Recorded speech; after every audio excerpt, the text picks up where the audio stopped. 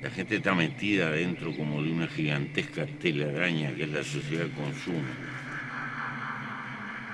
que poco tiene que ver con la felicidad humana. La gente ni siquiera es consciente de eso.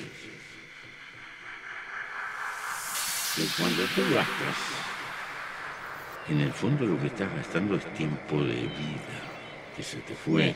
La mayor cantidad de tiempo posible.